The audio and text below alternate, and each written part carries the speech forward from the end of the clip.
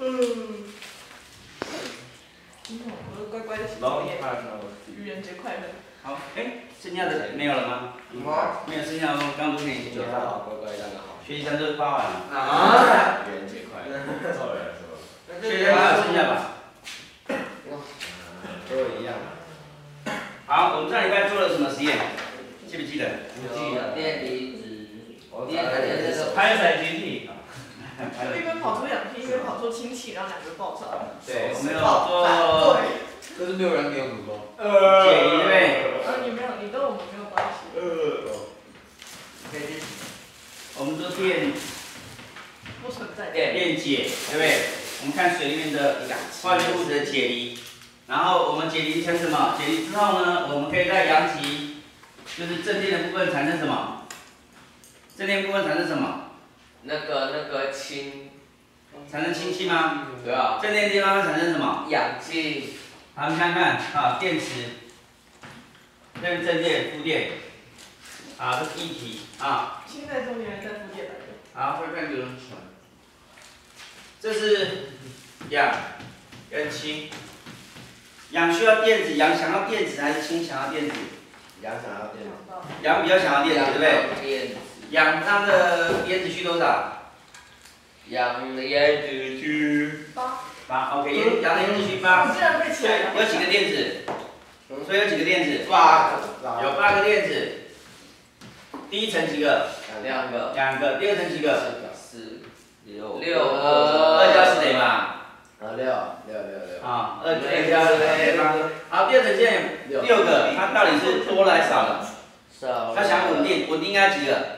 再加两个。啊，再加两个，对不对？那它需要两个电子，啊，它需要两个电，所以它从氢这边拿一个电子，从那边氢拿一个电子，所以它多了两个电子。所以在氧这边是带什么电？负电。带负电啊，它是带二负。啊，氢呢？哎，氢的电子被拿走，它带一个正电，对不对？好了。那我通电的时候，好，这根碳棒跟这根碳棒，这根碳棒带负电，这根碳棒带正电，小碳棒。好，谁会过来这边？那个氢，氢会过来这边，对不对？氢正离子，氢的正离子会跑过来，氧的负离子会跑过来。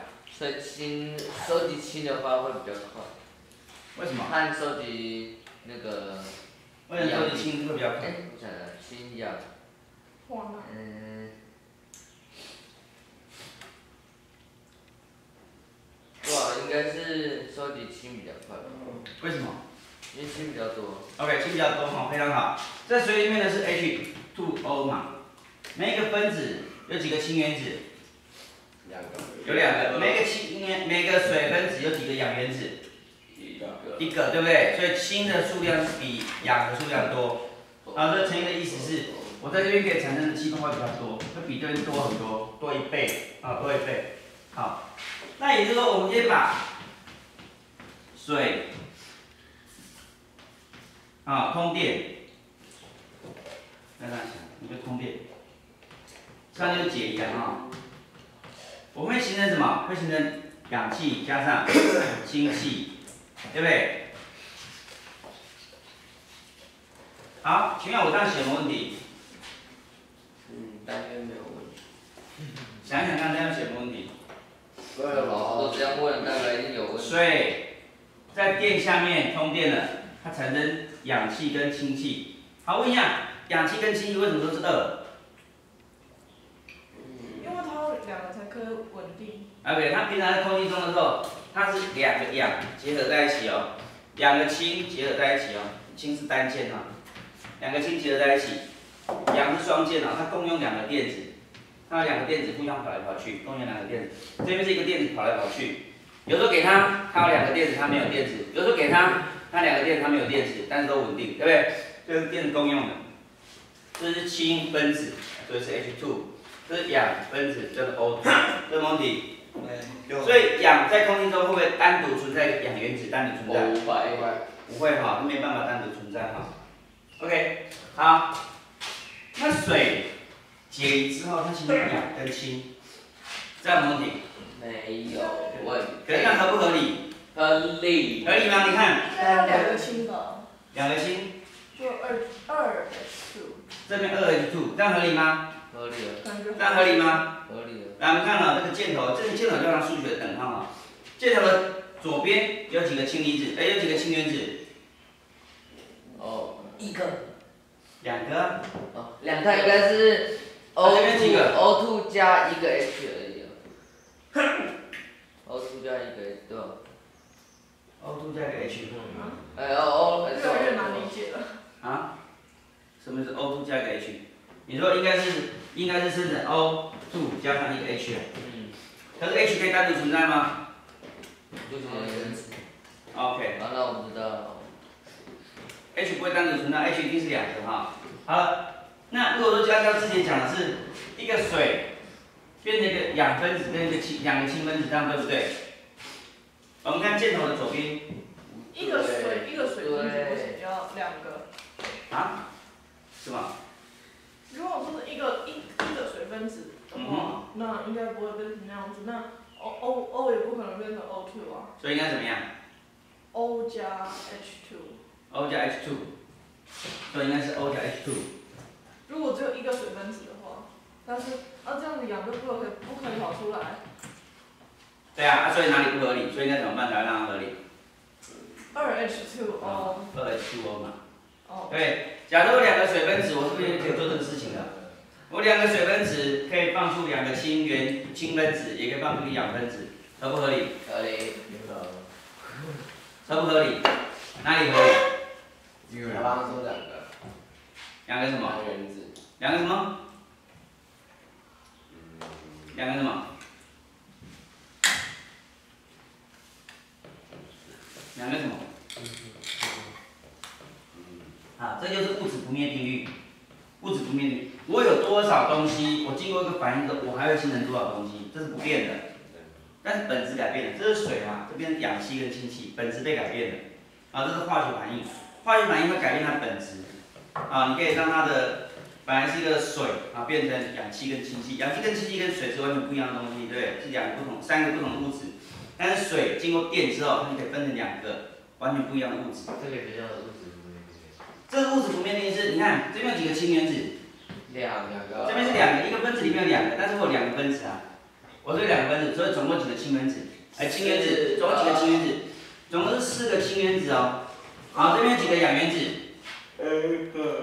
这边几个氧原子？两个这边个，两个氧原子哦。好，再看一下这边，这边几个氧原子？两个这边个，几个氢分子？哎，氢氢原氢原子四个嘛，所以是不是四个氢原子？这边还是四个氢原子，两个氧原子还是两个氧原子？所以物质没有改变，有没有新增加？有没有减少？没有，有没有增加？有没有减少？没有，没有哈，所以这就是水的解离，水的水的反应哈，我们经过电解之后它反应，所以这是物质不灭定律的一个证明。好，那再看一个东西，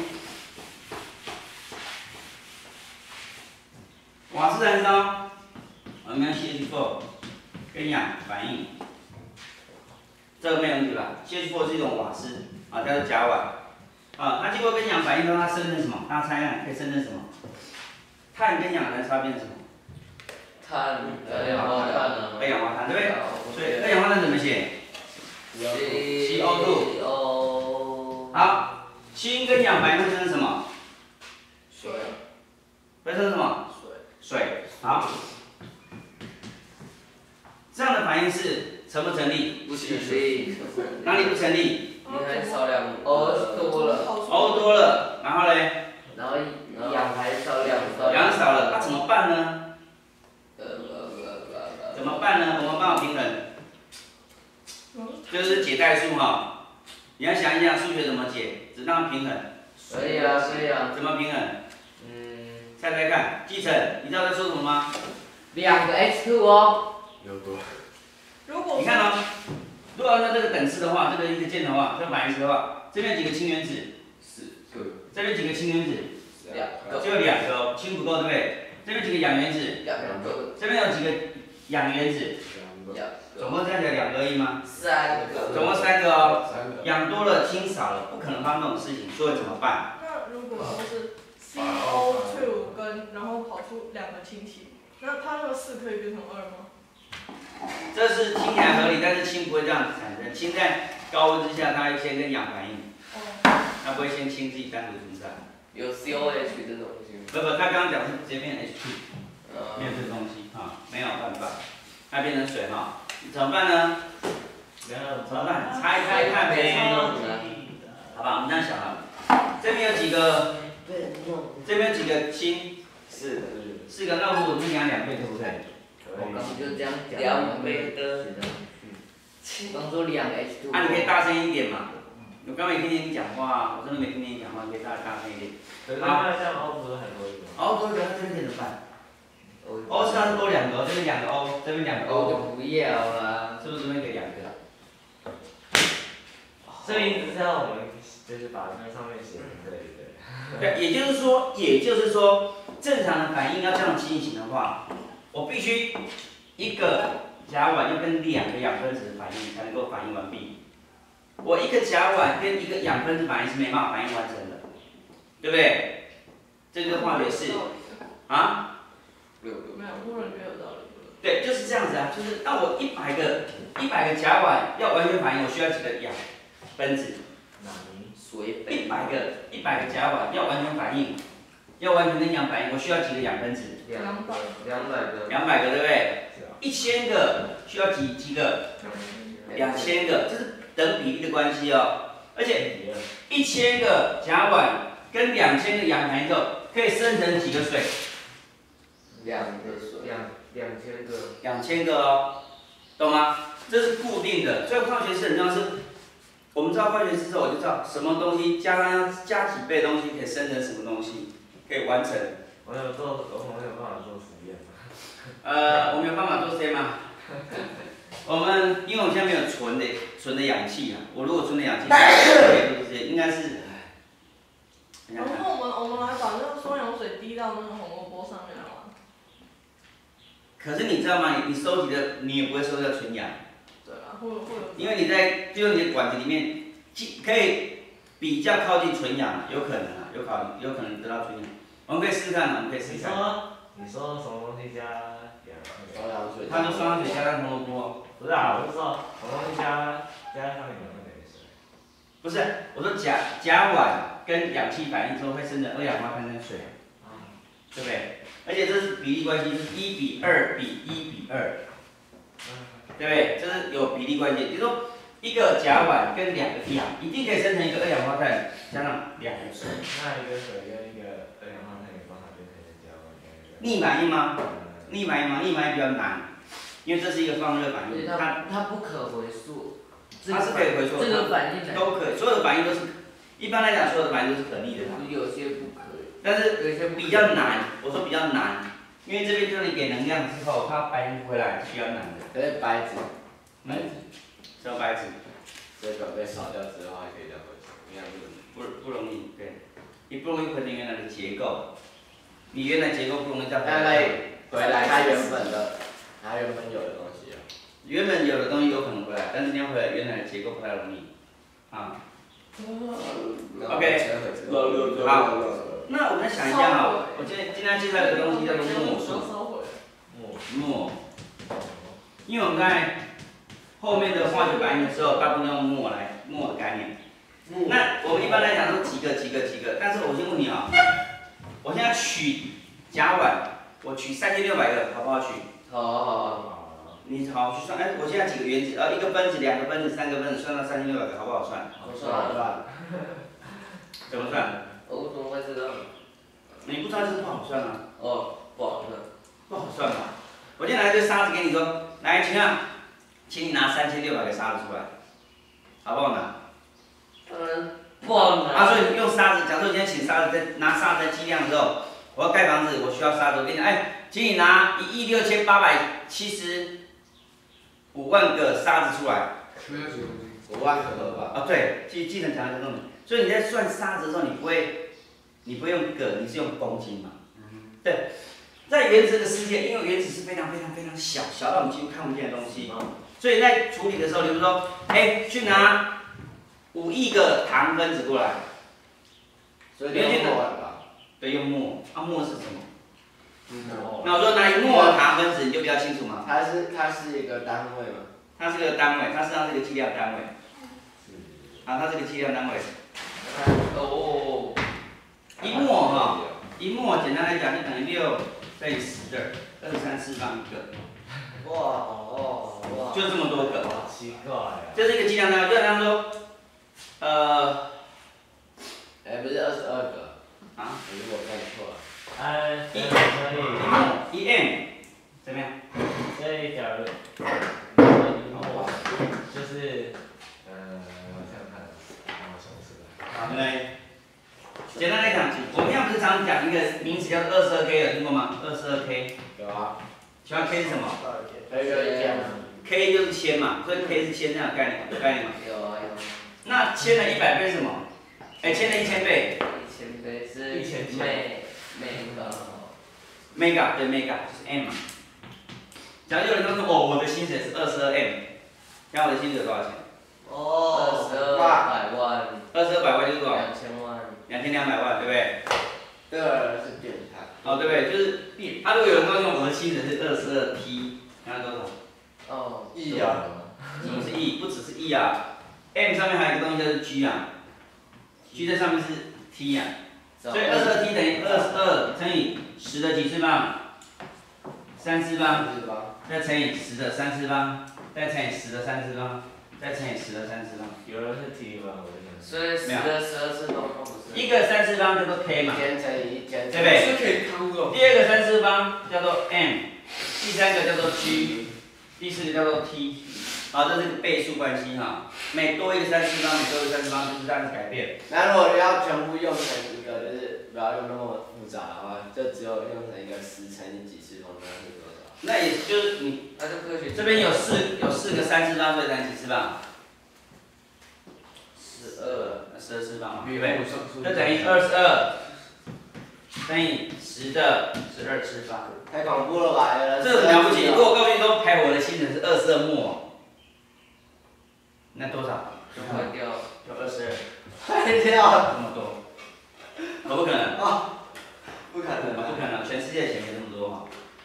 好，我真是钱全世界钱没这么多。好，这个一口那你看怎么去定义钱的单位啊？如果说现在有一吗啊，？T 有那么多吗？什么 T 有这么多吗？就是全世界的钱有 T 那么多吗？应该有吧。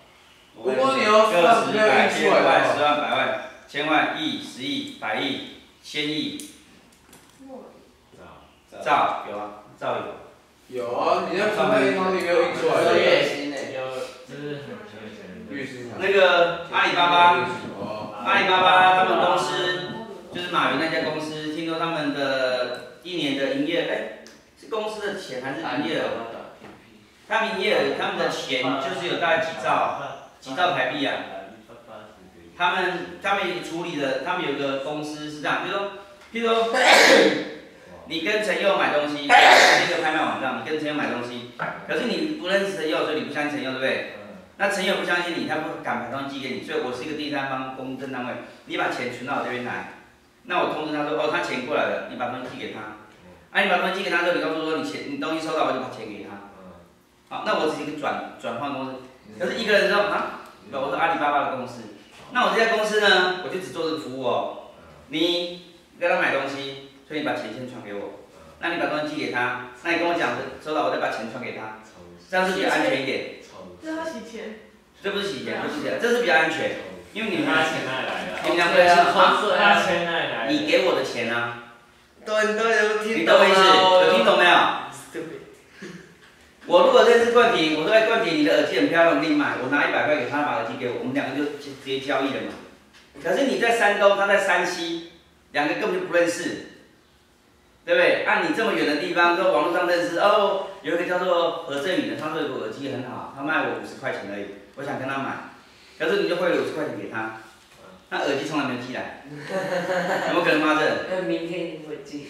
有一天嘛，就那个人家联络怎么样联络不上了，啊，那五十块不会了，如果五万块就会了，那就麻烦嘛。所以我就有一个公证单位，没关系，如果你担心的话，你就把把钱给我。哦，我问的是嗯那个那个什么阿里巴巴要赚你钱啊，你这样子，我就你扣，我可以扣一块钱。一块钱。一块钱，一块钱很少的，百分之一就好了。好，刚开始这样做，他们就说啊，一点点小钱，百分之一而已嘛。我我买一个东西五百块，可以一到百。分之一很多哎。对啊，如果一亿呢？一亿的百分之一多少？嗯，他现在光是这个，你看到、而且怎么样？你把钱给我，你把期货寄给他，这个东西钱会存到那里存几天？存五天好了。假设同时间有一万个人在做这个事情，我这边有一百万，我可以存五天哦。可如果每个人都在做的事情，也就相当于我有一百万，我可以一直有一百万哦。等于你说，听懂吗？只要每个人都给他一亿，那他他每他每个人不用给我一亿，每个人只要存一千块到我这边，但那一百万又不是你的，不是我的，但是它一直存在。那又不是你的，对，不是我的，但是它一直存在。你可以选择用倒闭。我就拿去然后赚取，不是不是不是不不会这样做的，没有人会这么笨，因为这一百万、这一千万、一亿，现在身上是有，现在身上是有好几兆啊，他同时也有好几兆在手上，这好几兆他可以拿去做营运哦，他可以拿去做投资哦，可以拿去存钱哦，因为一直都会有钱进来，我只要随时，比如今天给五百块，给五百块出去，今天给两千块，给两千块出去，但是过程当中我就是有一笔钱，这笔钱他拿去做投资，拿去买房子，拿去干嘛，拿去干嘛，对吗？就赚这个，所以他他现在有好几好几兆哦，好几兆，好。行岔开，我们回来。说太恐怖了啊！你知道吧？好，也就是说，我有三十 G，你知道是多少钱吗？呃，我不知道。啊，就是十的九次方嘛，三十三十的九次方。我告诉你，我五十末，请问我有几个？就是五十乘以六乘以十二三次方的。可是它还是很麻烦，我干嘛需要这几个？对啊，为什么？神经啊，是他不。需要的嘛？为什么要知道这个事情？为什么要知道这个事情？很简单，因为科学家就是不想算个嘛，因为算个非常非常的麻烦。你去算原子几个，算分子几个，很麻烦嘛。你看到一堆沙子，怎么样有没有？嗯，你先讲完。？OK，我看到一堆沙子，我想要去抓它的数量的时候，我绝对不会算几个，我一定算几公吨、几公斤、几克，是不是这样子？这是懒的科学家，是吗？你所以你愿意去算吗？我不愿意去算。那你不是懒，你也是懒啊。我也是很懒。这不是懒哦，这是聪明的方法。你有个聪明的方法解决你生活的问题，对不对？我譬如拿一袋，我譬如拿一袋，我简单讲，我拿一袋零钱去做，哎，去拿说，哎，那个不好意思，小姐，我想存这些钱，不要。他会跟你说，哦，好，开始算了。我。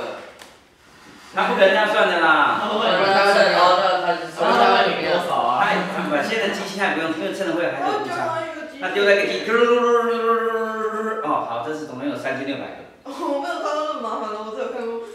好了。不，那是算纸钞。我说硬币，哦。硬币它有个算硬币机，它就丢上去，啊，就下去，它不断计数。我就在里面赚一点假钱呢。有可能啊，你讲这是有可能的，所以他们实际上不讨不喜欢人家存硬币，存太多硬币，啊，实际上他不喜欢的。嗯，脚那个你会不会脱掉就拿一大袋？而且甚至现在有人有人有些银行有些银行是反对的，是不让你存的，你硬币太多他不让你存的，哦，他不让你存啊，OK，但是 anyway，你去买，比如你去买绿豆，你一定是买一斤绿豆，你不会说，哎呦，老板不好意思，我想买一万颗绿豆，一万个。就算是一万颗绿豆，老板会算一万颗绿豆给你。老板会买一万颗绿豆那就跟他说传。一。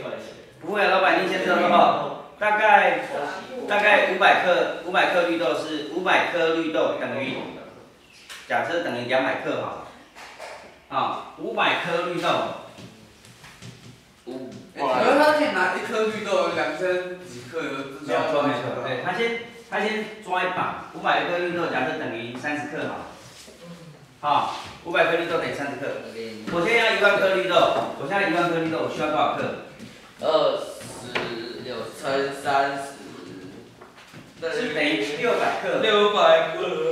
对，我只要称六百克给你，我就可以跟你讲大概一万颗粒。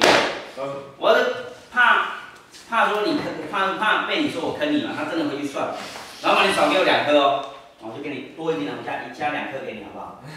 就一定有了吧，对不对？我可以确保给你一万颗。所以老板用转换的方式，他不需要去跟你讲几克几克，他就给你几克。我跟你讲，我给你六百，给你六百克，就相当于是一万颗，就可以解决你的问题了，是不是？他不会真的去算，听懂吗？哦，那嗯。那他说何谓木耳可以说是一种一种单位吗？它不是，实际上是不算单位，它是计数、计量，它是一个量的，所以它是六乘二以三次方。它是量的值，就像是刚几 K、几 M、几 G、几几 T 是一样的意思，一个量，一种量。一个计量的一个我们有讲分子量吗？啊，我们还有讲分子量吗？没有还没讲到分子量。好，它是一个量，墨实际上是一个量啊。哦。好，那我们现在再回来，所以科学家去研究哈、这样子好了啦。我们一克，因为我们讲的一个原子里面，一个原子里面具有质量是什么东西？一个原子里面具有质量是什么东西？我们在讲原子量就讲到了。中啊，自然。OK，一个原子的量具有原具有质量的那个东西是是什么？质子质子中子跟中子，对不对？电子。电子重量很小，电子重量很小，对，就只有质子跟中子。所以呢，科学家怎么这样的啊？我们去称一克的中指是多少重，是多少个？我们去了解一克的中子是多少个。那以后呢，我们就可以用这个当做一个计量单位啦。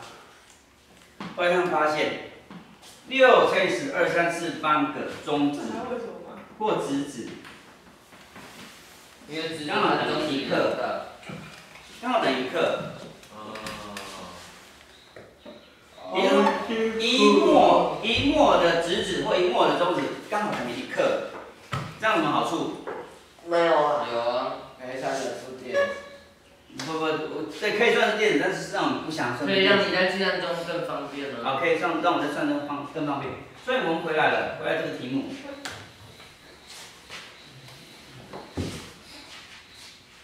一克，不不说错，一个甲烷跟两个氧分子可以生成一个二氧化碳跟两个水分子，对不对？对，十个甲烷跟要跟几个氧反应？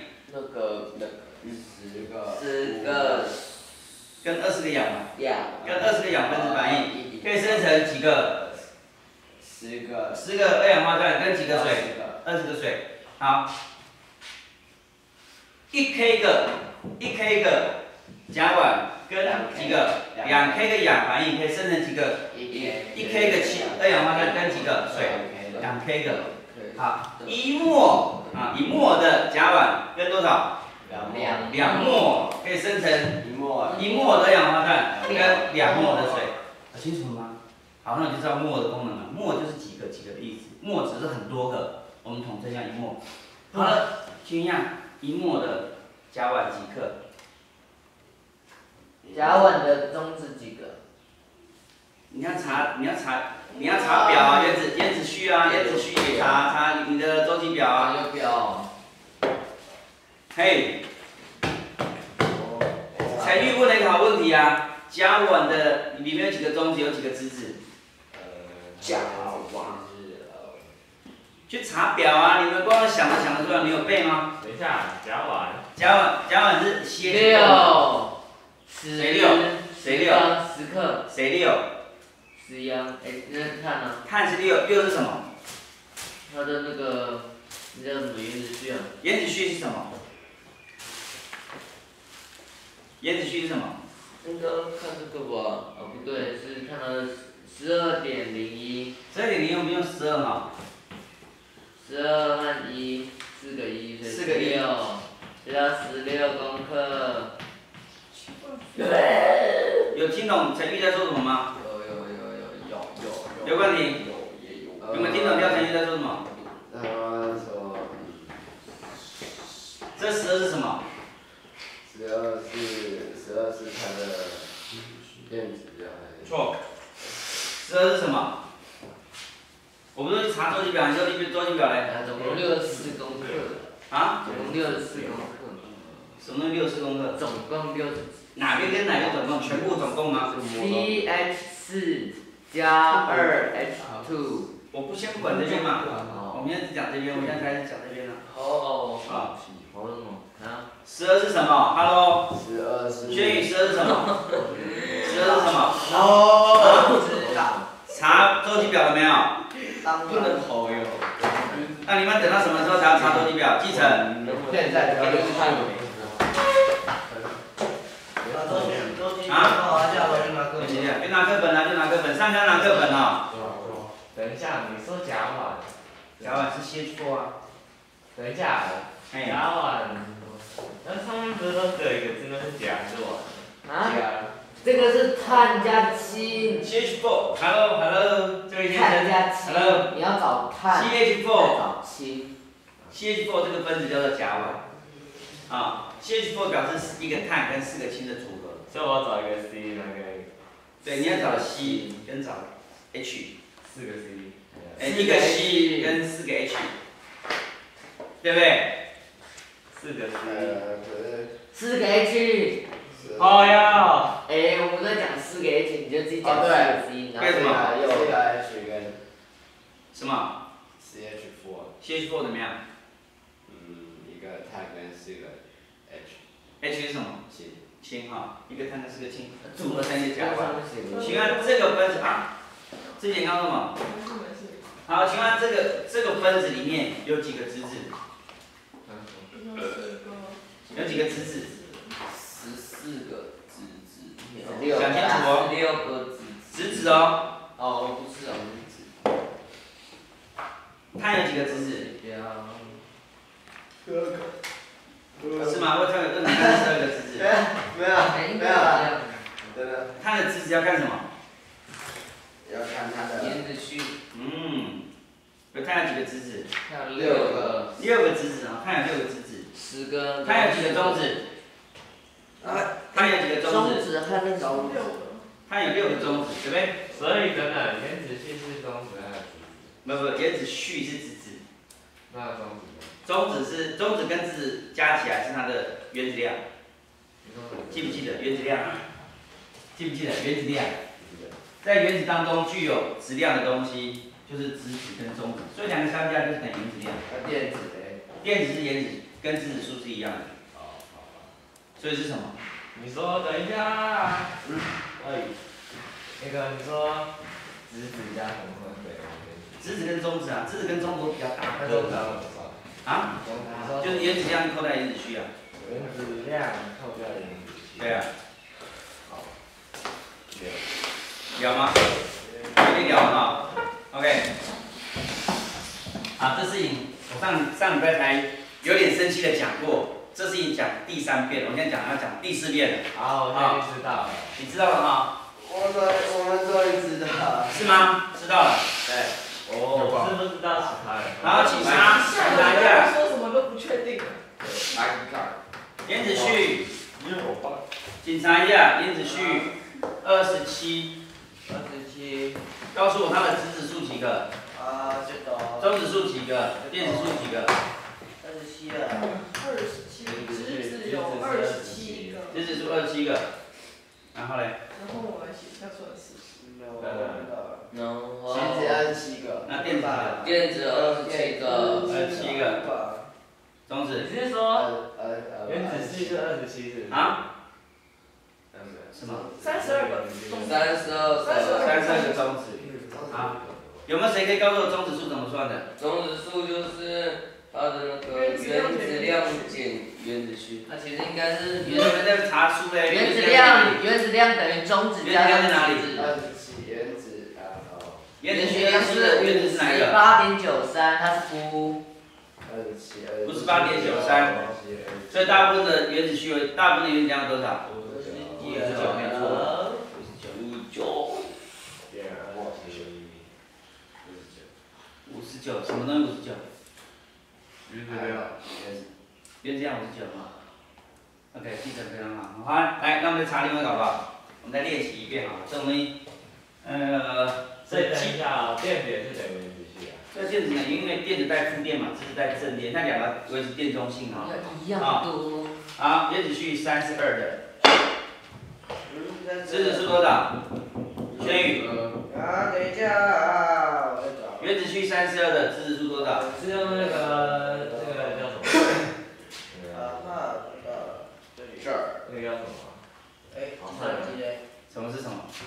我问你，它的质子数多少？不用计算机，侄子是为什么计算机？那质子数用拿计算机。等一下，等一下，等下，我。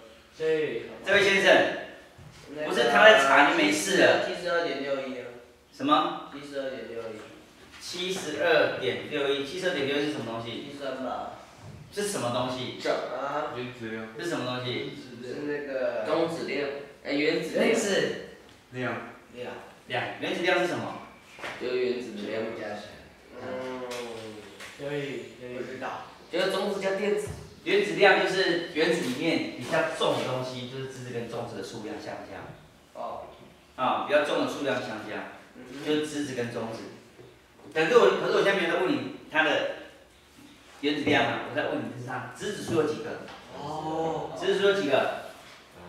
呃，三十二，我现在讲原子序三十二嘞。啊，三十二，三十二个，抱歉。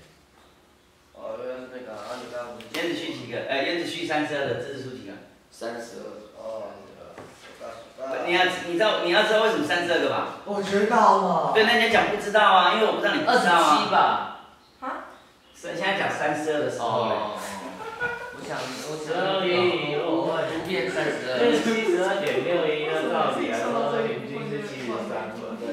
不是，它有大有一部分是七十三个，有一部分是七十二个，那所以但是比例这样的话，哎，这样看起来的话，就代表占六十 percent，这大概占四十 percent，那应该七十三啊，七十三，这大部分都七十三。大部分七十三对，没有七十三。这也是他们的啊，对，那个叫做四舍五入法。对对对，这个没有。终于想起来了，大部分啊，没有大部分的啊。我终对，于想起来了。所以原子序三十二的质子数几个？原子序三十二的质子数几个？三十二个。三十二个，电子数几个？电子数也是三十二个。三十二，啊，中子数几个？那个四十一，四十一个，四十一，三十一个。这样清楚吗？嗯，清楚吗？知道了啦。你知道了，薛丽子。好，我不用帮不用帮那个薛宇讲，就让他再做一次哈。啊好，原子序四十二的啊，质子数几个？四十二。是四十二个。中子数几个？呃，九十，呃，九十六减四，陈耀明呀，老师不是说让他讲吗？你问对啊学语多算问题啊我。刚刚没有听到，啊什么？这个反应太好笑了。啊，四十二是什么？等一下啊，四十二。啊？原子序四十二是什么？四十二。原子序四十二啊？是什么？哦，原子四十二。四十不不不不，我在问，我现在问，我现在问冠廷是什么东西？原子序四十二。是什么东西？他们在问他的是什么东西？呃，就代表这是个。等一下什么元素什么元素你根本不看周期表啊，什么元素？你背起来了，四十二个。四十二个什么元素？气力那个是木吗？呃。是不是木？是，对，木哦，是木，M O 是吗嗯，？OK，我是。中数几？中子数几个？五十四。五十四个。所以它原子量多少？原子序，啊不，原子量？原子量，原子量多少？九六。大人。哎，我要看。哦，九六。九十六嘛啊。好，这部分没问题吧？第四次了啊。不会，就要赶快举手说不会。大家讨论得很热烈的时候，你要说我不知道他们在讲什么。好不好？你要办法继续进行，不然我们都白讲了，清楚吗？大概。啊，上课就很简单，就是不会的赶快讲，好，我们来甲烷。甲烷这个分子呢是一个碳跟四个氢的组合，所以问你，这里面到底有几个中子？这整个分子里面几个中子？哦，几个中子？几个中子？十我们是一个一个来看，我们先从看碳。中子哦，对，碳有几个质子，有几个中子？碳是有十二个，哎，十二个什么？只有六十二个那个六个什么？中子。六个中指。哦，对，六个碳有六个中指，有六个质子，对不对？对，氢有几个中子？氢有一个中，氢有几个中指吗？零吧。氢有没有中指？没有中子，然后有一个有几个几个质子没有中指，对不对？什么？你在说什么？氢啊，你看周期表的氢是什么？一个中子，然后呢？有中指吗？没有中指吗？中指没有中子。这个我知道。一个质还是这样的一样一个质子，好，没事没事。对吧？我刚换了。你搞混了。氢的原子量是一，新的原子序是一，所以它几个中子？一个。零个。一个。为什么是零个？呃，因为。哎，这为什么是零个？我都因为原子序是一嘛，所以它的原子量是一，所以一加零等于一嘛，哦，所以那个零就是中子数啊，对那不对？加零，加为什么？零等为什么于一嘛。结问问题？为什么不是只有中子，没有食。我我问问，只有中指会不会带电子？不会啊。哦。只有中指算不算？一个中指。我懂了。我们一般在讲元元素的性质的时候，看的是质子哦。一个质子就是氢，两个质子就是什么？氦。三个字就是什么？锂。锂。懂吗？我告诉你，我这边一百个中指，我可以告诉你这是什么元素吗？不是锂吗？我说这个元这个元元素里面，它有三十个中子，请问这是什么元素？你可以知道吗？不知道。我也知道哈，中子没办法告诉你元素的元素的性质哦。质子可以耶。质子才是原子的性质，好不好？好啦。啊？电子因为电子会跑，所以不一定。有时候它变成离子化，它变成少了一个电子或多一个电子，不一定。哦。OK，好，所以甲烷这个里面到底有几个质子？总共？然后正与比中子。这几个质子？这里面有几个质子？冠廷。啊？这里面有几个质子？刚刚不是讲讲。总共几个质子？刚刚不是讲。没有讲过。有啊。我我那我没知道，是不是可以讲一遍？十个。OK，十个。哦。还有几个中子？L 十个。六个。六个。好，有没有问题？对，不知道。我知道，我知道，因为四个。对不对？四个。哇，知不知道怎么来的？四个呃，四个呃，对，六个。六个。轩宇知道怎么来的吗？啊？我知道，我知道，我知道怎么来。我也知道。你 OK。我知道，我知道轩宇怎么来的。啊？从石头蹦出来的，对不对？对啊，明明就是。照理来说，明明是他爸爸一直出动。你被马后。你如果知道是怎么 怎么在我现在黑板上进行什么事，你你知道就知道。如果你不知道，知道。一定要赶快举手，不要用猜的，也不要假装知道。我没有假装。假。我没有说你假装知道。我不知道。对，不知道就是不知道。我超级。看有几个质子？碳有几个质子？有六个。氢有几个质子？四个。氢怎么四个质子？一个一个一个嘛。啊，所以这边几个氢？哦，四个氢哦。所以它加起来几个质子？四个氢加一个加一个碳，四个。OK，所以四个质子这样母体。知道。轩你知道吗？知道。好。为什么中子数是六？嗯嗯。为什么？那是一个深奥的问题。哎，看在哪里？看十二个。深看不见的。我只见啊，看十二个，然后六。哦，看到了，看到了，看到了。然后然后氢是，然后十六。中子为什么是六个？因为它们的原子量是十六，然后再减掉质子就是六。是哪个原子量十六？啊，甲烷。哎，什么是？甲烷不是？甲烷没有什么原子量啊，甲烷没有原子量。甲烷是碳加碳加原是磁，碳，这是 CH4 的那个。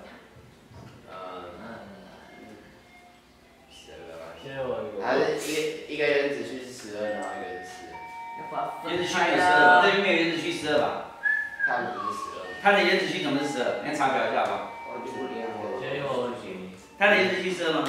甲烷它是一个元素吗？原子序。甲烷是个分子。哦，这它不是元素。它它是由两个元素所组合成的元素结构。单一属性。记不记得我们讲分子？什么叫分子？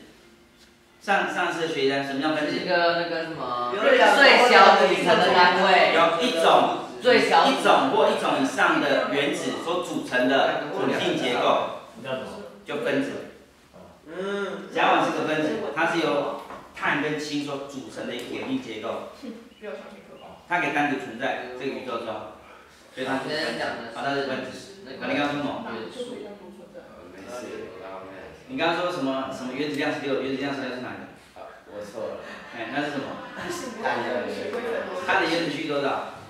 啊，六。它的原子序六，对不对？好，它的原子量是多少？十二。十二，对不对？好，我们今天讲的是中子，我们把这边讲完下看。我们中子数是六，为什么中子数是六？因为。因为它有几个中子？因为。看有几个中子？它有几个？六个。对，氢有几个中子？零个。零个，所以六个加四个零个等于六个，这样问题？没有。所以在这个分子里面，我们知道了，质子数十个，中子数六个。我们刚刚又知道了，每一末的中子或质子等于一克，对不对？也就是说，假设把 CH4 取一末，我应该取几克？啊，你说什么？每一末个每一墨的中指或每一墨的直指是一克。哎呦，啊、嗯，我现在要取一墨的甲烷，应该取几克？一墨的甲烷取几克一克？我的甲烷。你这里面有几个中指或直指？哎呦，没有什么了？要算很久哦，为什么算很久？因为我觉得要算好久哦。不用了，你先看，一墨的直指是一克，那就是十乘六乘十的二三次方的，干嘛去乘它？我说几克？六克我说几克？六克，那就十克啊！我要取十六克吧，不是十克。那你说十，十六克。